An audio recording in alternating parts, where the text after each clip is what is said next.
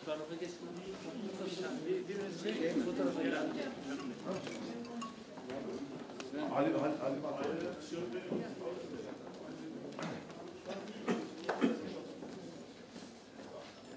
Şu önde oturmayın lütfen. Ya önde oturmayın abi ya. Görüntü alamıyor. Tamam mıyız arkadaşlar? Özlem Hanım burada oturmayın diyorlar. Şurada oturun ondan çekin.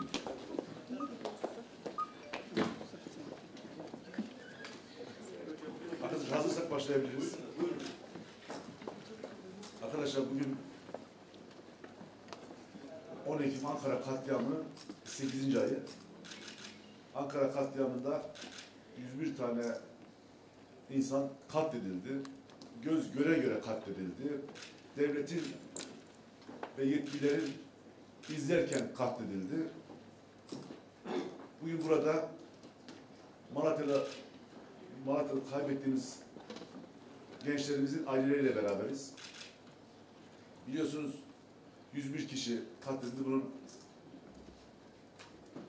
bir bölümü bizim gençlik kollarımızın yönetimindeydi. Partili arkadaşlarımızdı. Onların aileleriyle beraberiz. Gözde Aslan, Mehmet Hayta, Gülbahar Aydeniz, Eren Akın, Mehmet Ali Kılıç, Onur Tan, Umut Tan, Kasım Otur, Sezen Vurmaz, Ata Önder Atabey, Canbek Bakış, Seher Yaylagülü. 10 Ekim katliamında Malatyalı barış şehitlerimizin isimleri. 10 Ekim'de barış isteyen gençlerimiz katledildi. Barış diye haykırırken, özgürlük diye haykırırken, demokrasi diye haykırırken maalesef katledildi.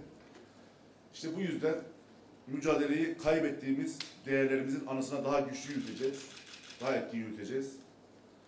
Gözlerin güçlü sesini, Eren'in güzel gülüşünü, Mehmet Ali'nin saf duruşunu unutmayacağız. Canberk'in sazıyla, sözüyle, Mehmet'in kimliğiyle, Gülbahar'ın çalışkanlığıyla hatırlayacağız. Onur'un siyasi bilgisini, Umut'un esprisini, Kasım Otur'un sendikal mücadelesini, Sezen Vurmaz'ın gençlerimize adeta annelik yapmasını, Ata Önder'in eğitimci kimliğini, Seyhan Yaylagül'ün pozitif kimliğini asla unutmayacağız. Hepsinin ortak özelliği haksızlığa karşı durmalarıydı. Hepsinin or- ortak isteği hep barışı savunmalarıydı. Her zaman şiddete karşı gelmeleriydi. Parti olarak her zaman şiddeti lanetlediğimizi, hangi nereden gelirse gelsin, kimliği ne olursa olsun şiddeti lanetlediğimizi belirtmek istiyoruz. Ve bu arada geçtiğimiz gün İstanbul'da katliam yapanları da buradan lanetlediğimizi, Ankara katliamındaki katillerle İstanbul'daki katillerin aynı olduğunu belirtmek istiyoruz. Değerli arkadaşlar, Türkiye her geçen gün biraz daha şiddet ülkesine dönüyor. Daha önce yaşadığımız katliamların hesabı sorulmadan yeni katliamlar oluyor. Hemen bu ara iki katliam daha yaşandı. 7 Haziran seçimlerinden sonra Cumhurbaşkanı baş danışmanlarından biri millet kaosu seçti dedi ve bombalar patlamaya başladı. Temmuz 2015 tarihinden bugüne kadar yüzlerce insanımız toplu katliamlarda kaybettik. Artık Türkiye bir Orta Doğu ülkesi. Dünyada Türkiye Orta Doğu ülkesi gibi görülüyor. Ankara artık Kabil'den, Bağdat'tan herhangi bir Orta Doğu ülkesinden farklı değil. Her gün bombaların patladığı, artık ölümün sıradanlaştığı, artık toplu katliamların sıradanlaştığı bir ülke konumundayız. Hükümet terörle mücadele etmek için bütün imkanlara sahip ama her türlü kanunu geçirdiler, her türlü insan haklarını askıya aldılar. Milyonlarca belki yurttaşımızı dinlediler. Ama terörü durduramadılar. İktidar, içindeki iktidar mücadelesi, koltuk ve ego savaşları, istihbarat ve emniyet birimlerinin teröristleri arayacağına, maalesef Cumhurbaşkanı'na Facebook'tan, sosyal medyadan hakaret ettiği iddia edilen 13-14 yaşındaki çocukların peşine düşmüş durumda. Maalesef MİT ve devletin istihbarat kuruluşları bu katillerin izini süreceğine, bombalı araçların izini süreceğine maalesef 13-14 yaşındaki sosyal medyada Cumhurbaşkanı'na hakaret eden insanları takip etmektedir. Bu katliam da aynen bu şekildedir. Ankara katliamına canlı bomba olanların isimleri daha önce CHP'nin 9 Eylül'de açıklamış olduğu raporda vardı. Başbakan'a iletilmişti, isimleri iletilmişti. Sınırı, elleri, kollarını sallaya sallaya geçtiler. Antep'te bir güzelce uyudular. Mola vere vere, çay içe içe, sanki pikniğe gider gibi geldiler. Ankara'nın göbeğinde, karda kendilerini patlattılar ve 101 tane insanımız katledildi. Bunu emniyet görüyordu, bunu MİT biliyordu. Maalesef bir tedbir alınmadı. Bugün o katliamı anmaya giderken araçlarımız sokulmadı. İnsanlar oraya girerken onlarca kez arandı. Ama o gün bunlar görmezden gelindi. Değerli arkadaşlar, geçen bunca sürede etkin bir soruşturma yapılmadı. İddianame bugüne kadar tamamlanamadı. Mülkiye müfettişlerinin yazdığı rapor kamu görevlilerinin ağır ihmal yaptığı ortaya çıkardı. Ama bu- buna rağmen bu kişilerle ilgili hiçbir işlem yapılmadı. Ortaya çıkan müfettiş raporuna göre 14 Eylül tarihinde şu isimler şu mitingde canlı bomba saldırısı yapacak diye istihbarat geliyor. Ancak hiçbir önlem alınmıyor. Canlı bombalar sınırdan ellerini kollarını sallayarak giriyor. Ankara'ya rahatça geliyor ve kendilerini patlatıyor. 10 Ekim'de bir bombalı saldırı yapılacağını savcılar biliyor. Emniyet biliyor, istihbarat biliyor ama hiçbir önlem alınmıyor. Bu çocukların, bu insanlarımızın kanları önlem almayan kamu görevlilerinin ve hükümetin elindedir. Bu kan öyle yıkanarak çıkmaz. Türkiye Cumhuriyeti tarihinin en kanlı terör saldırısını bilerek önlem almayanların elinden bu kan çıkmaz. Bu kan hesabını soracağız. Değerli basın mensupları, 10 Ekim günü dahi istihbarat geliyor. Müfettiş raporunda sabit. 10 Ekim günü bile bir canlı bomba eylemi yapılacak, bir katliam yapılacak diye ama maalesef bununla ilgili tedbir alınmıyor, görmezden geliniyor. Bu raporun çıkmasına rağmen suç duyurusunda bulunmuş ancak valilik emniyet yetkilileri hakkında soruşturma izni vermemiştir. Başsavcılık da buna itiraz etmemiş ve ihmali bulunan görevler hakkında soruşturma yapılmamıştır. Bütün Türkiye'nin önünde gözler önünde katledilen 105 kişinin katillerine göz yuman devlet görevlileri maalesef adeta adeta adaletten kaçırılmıştır. Bugüne kadar bu mü- mü- müfettiş raporu soruşturmaya dahil edilmemiştir. Davayı takip eden avukatlar 10 Mayıs 2016 tarihinde savcı hakkında bu raporu soruşturmaya dahil etmediği için suç duyurusunda bulundular. Bizler katliamda kusuru bulunan ve en tepeden himaye edilen kamu görevlilerinin adalet karşısına çıkarılmasını istiyoruz. Değerli basın mensupları, bu skandal da bir skandal da müfettiş raporunda ismi geçen polislerin halen bu soruşturma yürüten polisler olmasıdır. İnsanın aklıyla alay eden bu durumu kamuoyunun dikkatine sunuyoruz. Bir kez daha söylüyorum. Müfettiş raporuyla soruşturmada ismi geçen polisler halen bu soruşturmayı yapan polislerle birebir aynıdır. İhmaller yalnızca göz yummakla sınırlı değildir.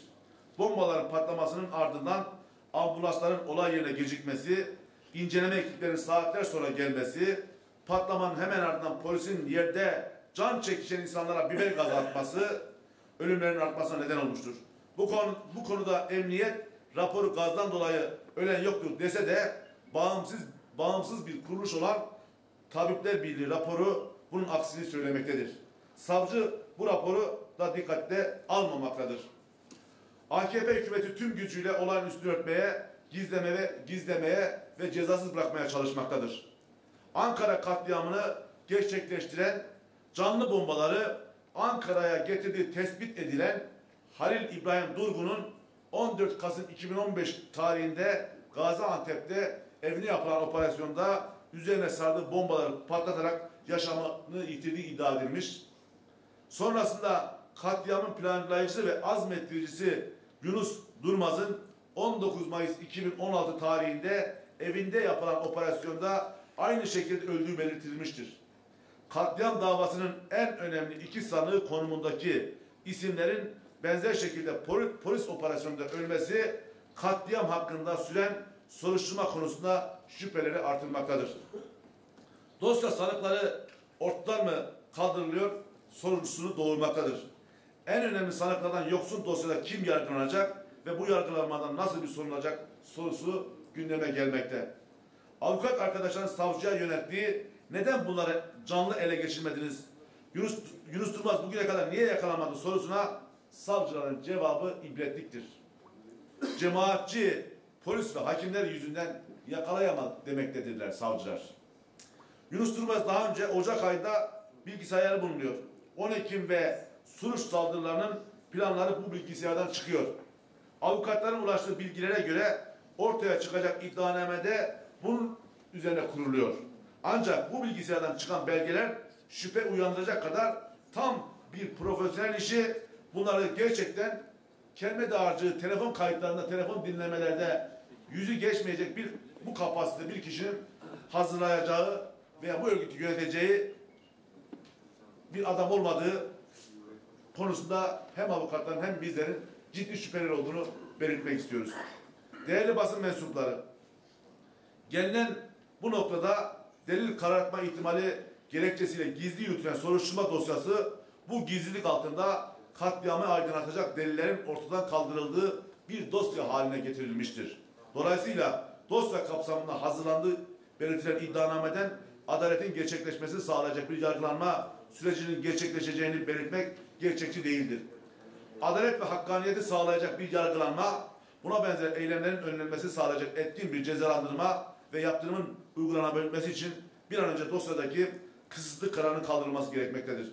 Kamu görevlilerinin sorumluluğunun ciddi ve tarafsız bir biçimde araştırılması ve katliamın gerçekleştirilmesinde kusuru olduğu şüphesi bulunan kamu görevlilerinin soruşturma dosyasına müdahale edebileceği koşulları ortadan kaldırılmasıyla sağlanmalıdır.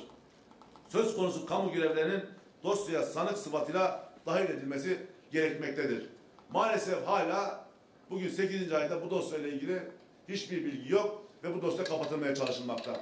Değerli arkadaşlar, değerli basın mensupları, bu Cumhuriyet tarihinin en büyük katliamıdır, en kanlı katliamıdır. Bunun sorumlusu hükümettir.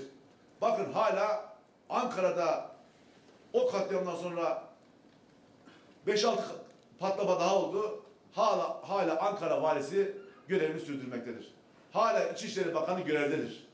Dünyanın herhangi bir ülkesinde bırakın demokrasinin D'si olmayan ülkesinde böyle bir patlama olsaydı herhalde orada birkaç siyasetçi feda edilirdi. istifa ederdi.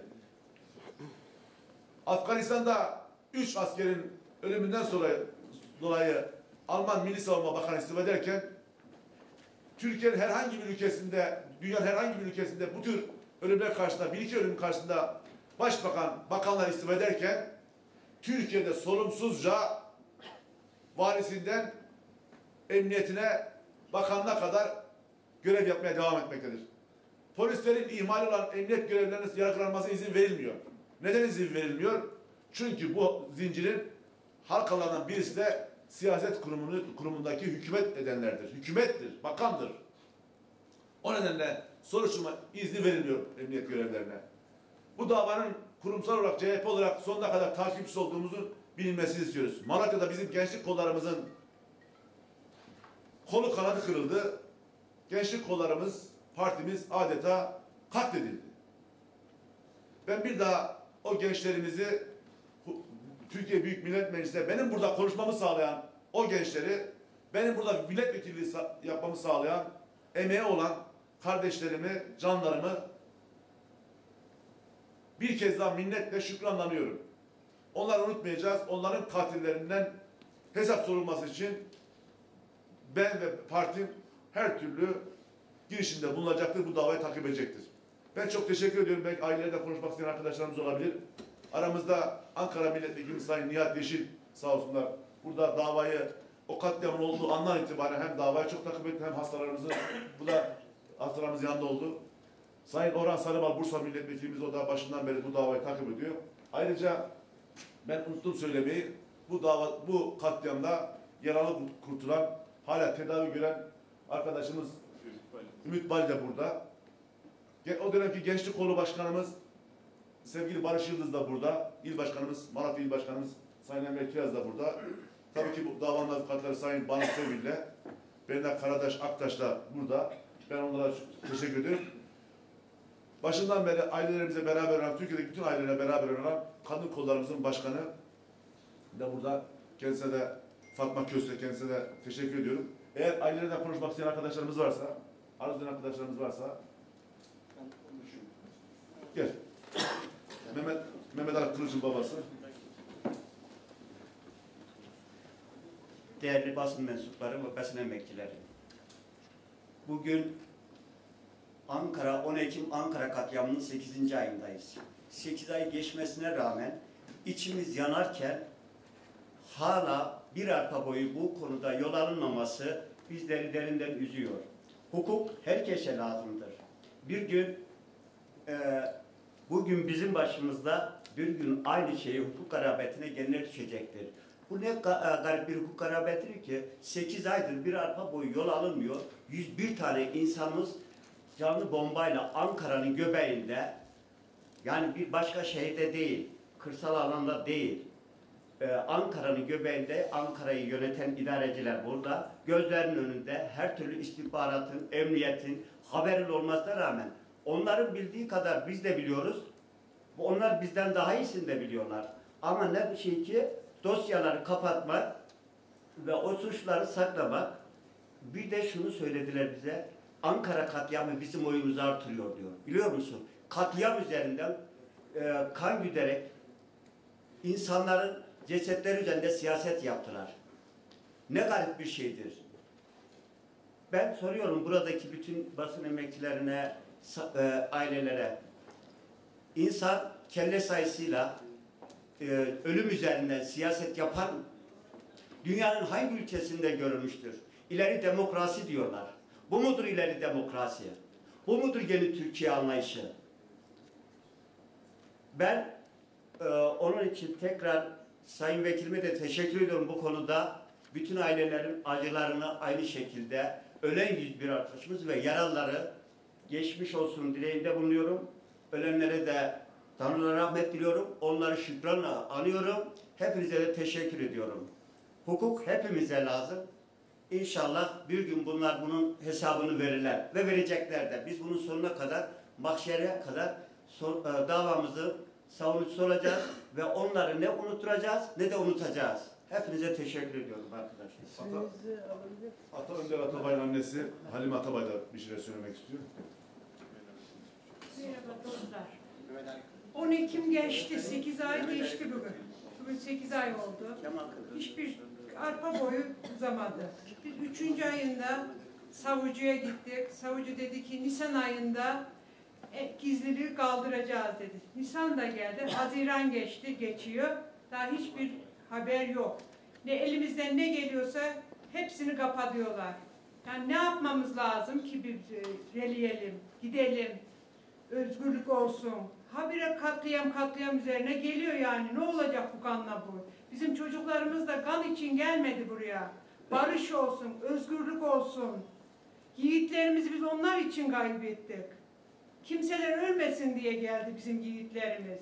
Biz 8 aydır kan ağlıyoruz. Kimse bilmez bizim acılarımızı. Ancak bizi acısı, annesi, yavrusunu kaybeden, eşini kaybeden onlar anlar. Kimseler anlamıyor. Devlet de anlamıyor, kimse de anlamıyor bizi. Bizi bir an önce bu devlet elini çeksin. Başka bir şey demiyorum. Devlet elini çeksin, gizliliği kaldırsın. Başka ne diyeyim bilirim ki? Her şeyi yaktılar bizi. Ciğerimizi yaktılar. Ne diyeyim? Hepinize teşekkür ederim. Gizlilik kalksın.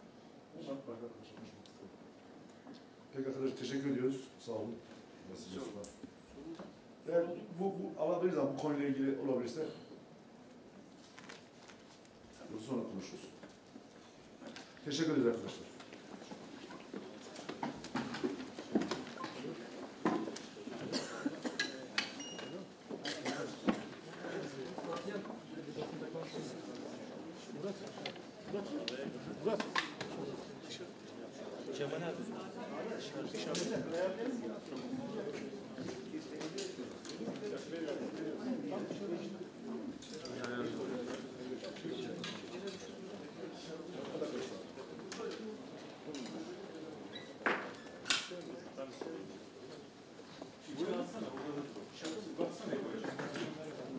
Ben size sonra bir-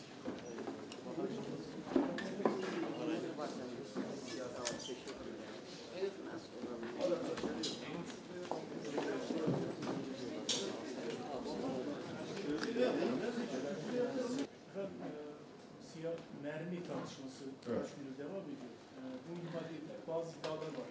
CHP Genel Merkezi'nin arandığı sık sık e, Kemal Bey hakkında ölüm tehditleri geldiği ifade ediliyor. E, hastalığınız nedir? Size genel sıklıkla. Şimdi tabii bu tür e, telefonlar e, ve tehditler zaman zaman iletiyor, sosyal medya aracılığıyla iletiliyor, bizlere de iletiliyor.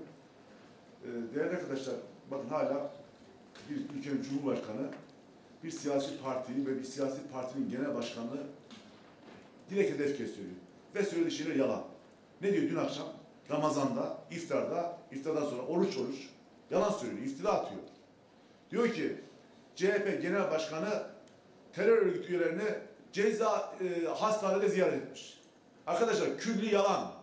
Yalan olduğunu Cumhurbaşkanı da biliyor. Külli yalan.